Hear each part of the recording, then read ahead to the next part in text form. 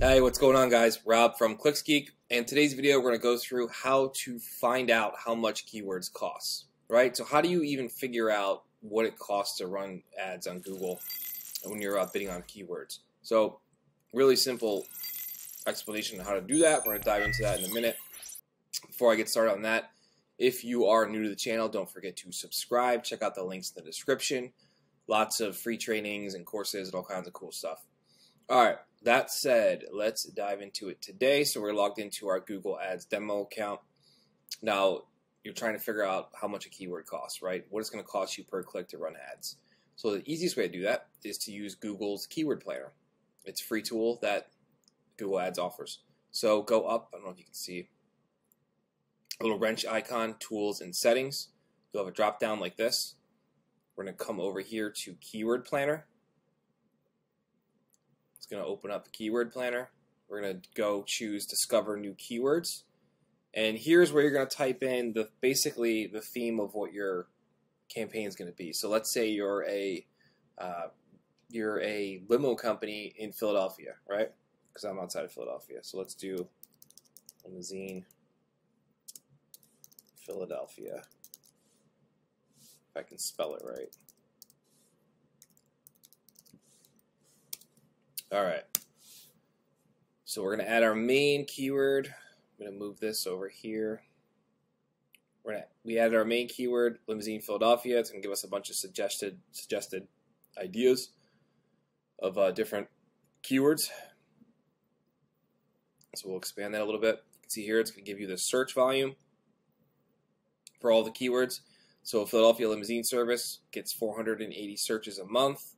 Now that is that is nationally, so you want to change that. So if you're looking, let's say we're a limousine, you, you or your client's a limousine company in Philadelphia, you want to actually put the locations they target in location targeting because it's going to give you the truest results, search volume and price wise. So let's get rid of the United States, just do Philadelphia. Perfect. Right. So limousine, Philadelphia, 210 searches. Top of the page bid, low range, 65 cents.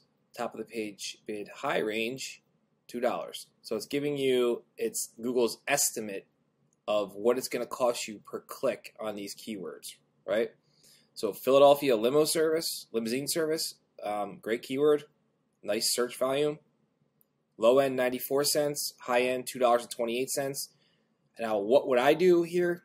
It depends on the situation. If if I'm doing it correctly and I have time, um, I would set a maximize clicks bid strategy with a top uh, max CPC bid limit of three dollars, just so I, I, give them room to go past to get more um, more traction faster, and uh, let Google's auto bidding do its thing and get me as many clicks as possible, and let them decide what to pay per click. Or what you could do if you're doing manual bidding, like a lot of people still do, you have your low range, you have your high range, just meet in the middle right? That's the easiest way to do it, and then adjust up from there. It just keep in mind it could start out slower. Same with maximize clicks. It does take a few days to ramp up. It's not an immediate day one thing.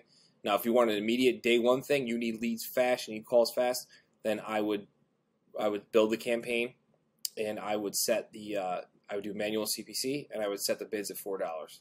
I would just go I would go way over suggested ugh, suggested top of the page bid and um, see where it shakes out because I want the clicks and the phone calls fast. Um, so that's what I would do for that if you need it fast. But if you want to do it right, take your time with it, and incrementally you can increase. But this is how you're going to find all of your keyword bids. Pretty cool. And you can sort by high to low. So luxury sedan service, Philadelphia, six bucks. Philadelphia limo service rates, four bucks. So you're going to catch a lot more with a higher bid, obviously. It really depends on what your budget is. I mean, if you're a limo company, I highly suggest that you're running at least twenty-five to thirty dollars a day, Monday through Friday budget to, to get good results. Um, if you're running ten bucks a day, you're gonna, you know, you, will get a few phone calls a week, but you're not going to get anything crazy. So yeah, that's how you will find your keyword. Um, what you're gonna set your bids at for your keywords. Really simple. You get your search volume here. The name of the game with Google Ads too, when creating your campaigns Obviously, we want volume, so you want to add. I know it's pain in the ass, but if you don't know how to build Google Ads campaigns or ad groups and keywords and add all that together, please go back to our, our channel, ClicksGeek channel, and watch me build one from A to Z. And I show you how to build out the ad groups with the keywords and all that. You want to have as many keywords as possible. Just think of them like this. Think of them as little fishing nets you're throwing out there in Google. They're all going to like bring back in phone calls and, and form submission leads for you, right? So it can be tedious and a pain in the ass to build them out, but you only have to do it once, and then you just have to optimize it, which is the easy part. So you build it once. If you do it right, structure it correctly, like I show you in our channel, then all you have to do is optimize it, and you'll have little fishing nets all over the place capturing traffic, leads, phone calls, everything for your company. All right, guys, that's all I got for you today. I will see you in uh, tomorrow's video.